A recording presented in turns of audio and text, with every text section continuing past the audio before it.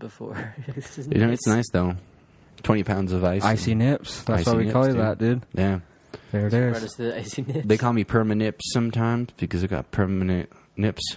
Permanent Permanent nipples. RT. Mine disappear from time to time. I ever tell you guys about the story when uh, we were stuck in an office and the only way out was to cut through the glass and nobody had a diamond tip, so we just had to use my nips to get Edmund's out. like, I'll get out. He like just gets right on the windowsill, puts his hand there, and does a complete perfect cartwheel slow mo, Yep. completely all the way around. Puts his foot back down, pulls off. Both nipples cut perfect simultaneously by there, just so that it breaks a hole where Edmund can climb through and then be able to like reach his hand in and be like, "Come on," and help the people through. Still, you know, Yep. it's like. I got the Medal of Heroism for that. But I gave it back to the city because I'm not about medals Yeah. rewards. Yeah, I'm not a. Just about doing the right thing.